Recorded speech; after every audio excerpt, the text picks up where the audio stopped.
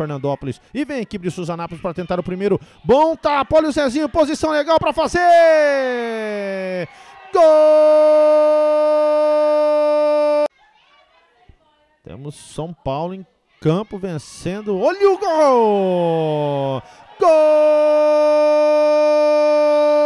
Primeira dele. Rolou mais atrás, Gilvan bateu pro gol, teve desvio, a bola vai entrando, a bola bate na trave, não entra! E olha o gol! Gol!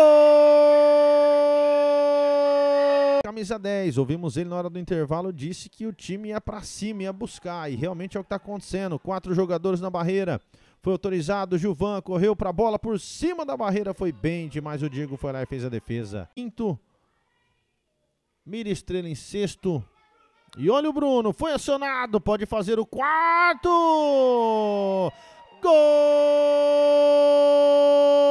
Suzanápolis chegando para fazer mais um, olha o Zezinho fazendo fila! Gol! Cruzamento na área, Zezinho. Não teve o domínio, tentou o chute pro gol, ele de novo, a bola vai na trave e não entra. Olha o cruzamento na área de cabeça! Gol!